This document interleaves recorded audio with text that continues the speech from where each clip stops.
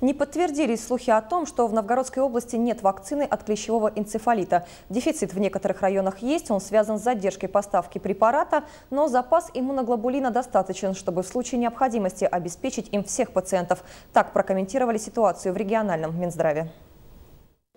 В распоряжении Минздрава около 900 доз иммуноглобулина. Они распределены между учреждениями здравоохранения в областных и крупных районных ЦРБ. В поликлиниках и ФАПах в наличии есть препараты для альтернативных схем лечения после укуса клеща. Доктора поясняют, иммуноглобулин назначается лишь при наличии подтвержденного диагноза. Лечение необходимо начинать не в первые же минуты и часы, то есть да, в течение трех дней первых после того, как поставили диагноза, э, можно, нужно начинать, можно начинать лечение. Конечно же, мы не будем ждать так долго, и у нас учреждение находится рядом, поэтому вся необходимая помощь будет оказана. Возможен обмен лекарственными препаратами между медицинскими учреждениями по требованию по заявке с соблюдением транспортировки, требований холодовой цепи, конечно же.